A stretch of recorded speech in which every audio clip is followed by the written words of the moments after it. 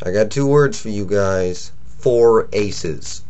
That is the defensive scheme the New York Giants have used so far this season. I got to see it in action because I watched the Giants and 49ers go at it. And it is something else. It generates one hell of a pass rush. For those of you who don't know what four aces is, it's a term I believe coined by footballoutsiders.com. Pretty cool website, by the way. When the Giants defense faces an offense that's going into a passing mode, that is, it's second and long, third and long. They line up in the shotgun. They have four wide receivers or whatever. They use a defensive set called four aces where they put four defensive ends on the field.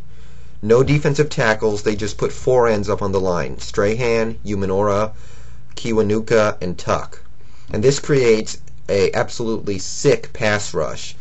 And you can only double one or two, or if you're lucky, at best three of those guys realistically. And somebody's going to get free. It seems like a given that every time the opposing team drops back against four aces, somebody's going to be in the backfield.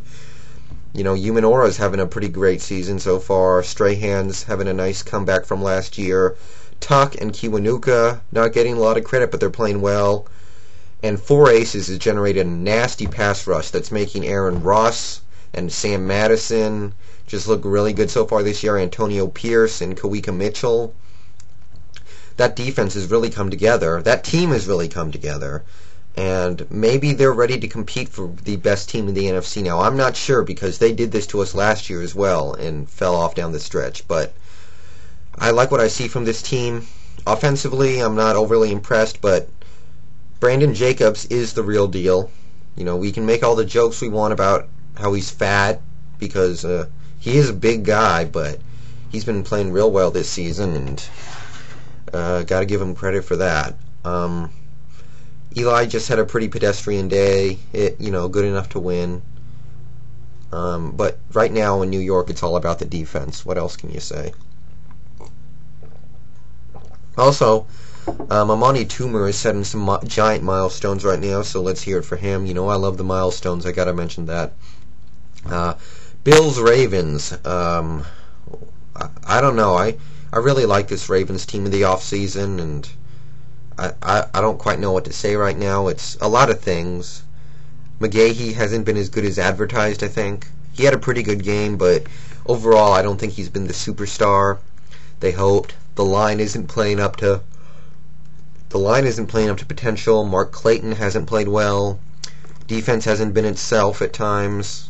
Um, you know, it's a lot of things, and you know, at least the Ravens did manage to get a Super Bowl out of the last decade, out of this, you know, basic this era. So you can't take that away from a team. But um, I'm not here to talk about that. Um, I guess Ray Lewis called out Brian Billick and Adalius Thomas. I guess before or after the game, I can't remember. But um, as TMQ noted, there was a point in the game uh, pretty early. It was fourth and three for the Ravens. They had the ball at the 38 of the Bills and they punted.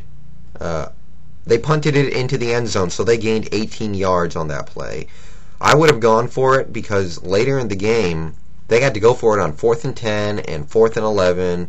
They went for it on 4th down quite a few times, and it didn't work then because they were going for it in 4th and long. And maybe if you go for that 4th and short, which was really probably worth going for, maybe you can change things.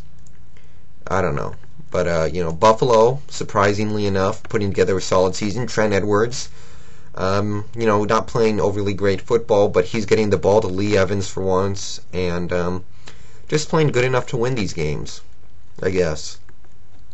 I don't know. Um, let's see. You got the Patriots beating the Dolphins. A lot is made of this game, of course. You know, more running up the score stuff, more. Uh, New England domination, more Tom Brady domination, you know, the usual suspects when it comes to New England games so far this year. Uh, I want to bring attention to something that not a lot of people have noticed about this game. Rodney Harrison sacked Cleo Lemon at some point in the game. I think it was pretty late. and in doing so, became the first player in NFL history to officially hit the 30-30 club. And what that is, is 30 career sacks and 30 career interceptions. He's a safety, not a linebacker, making it even harder for him to collect sacks. He has 30 of each on his career. I think he has more than 30 interceptions, but who's counting? Um, no player in NFL history has managed to do this. He's also been a tackle machine for much of his career. He's been the heart of of, of defenses in two different te- on two different teams, and he has two Super Bowl rings. I say it's time for the Hall of Fame to put their bias against defensive backs aside, put their bias against dirty jerk off players aside, and um, put this guy into the Hall of Fame because he's been special. He's a hell of a player, and I want to see him in the Hall. Um, other than that, uh, I kind of found it interesting in the second half. Patriots starters were still playing. I was like, well, what's this? Why are they doing this? And then they pull them. And then Matt Cassel goes out there and plays so bad they actually have to put the starters back in. you know, that's kind of funny, but it's also kind of ominous because all it takes is one play for Tom Brady to go down. And if that happens, they don't have a Brad Johnson or a Kurt Warner or a Trent Dilfer to come in and manage the games.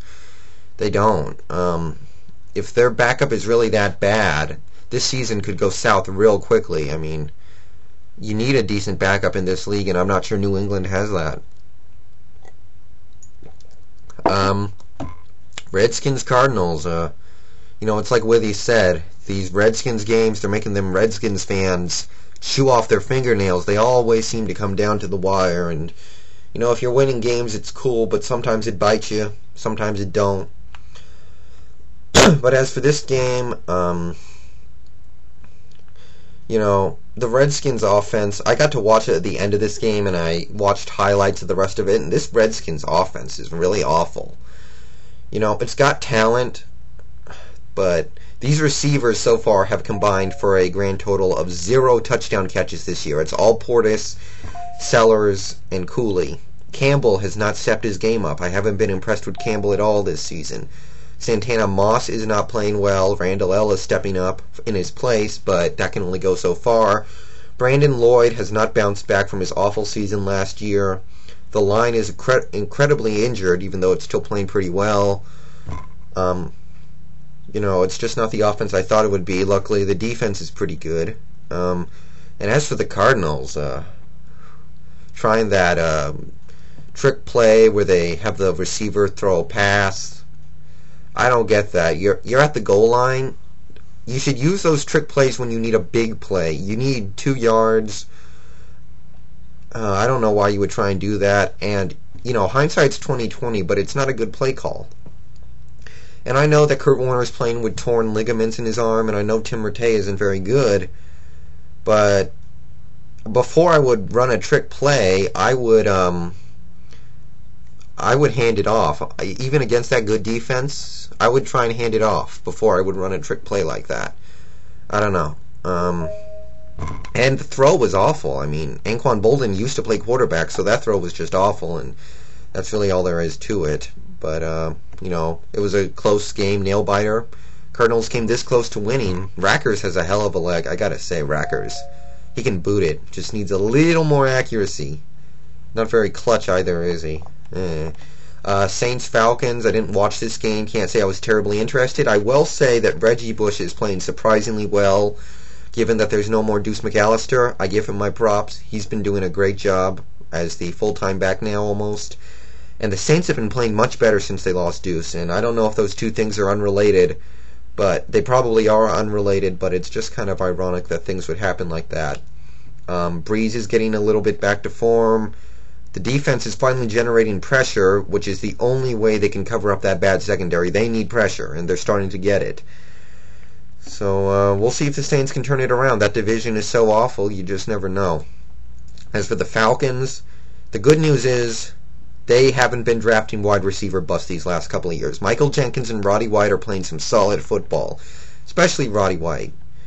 Um, so the future is starting to look a little more bright for the Falcons fans. Um, maybe Brian Brohm will have someone to throw to after all. Um, and looks like Leftwich is going to be done for quite a while, so we'll get one last look at Harrington before the Falcons decide if they want to draft a quarterback next year or not. So we'll be in, I'll be interested in that. I think Leftwich is just done. He just can't stay healthy.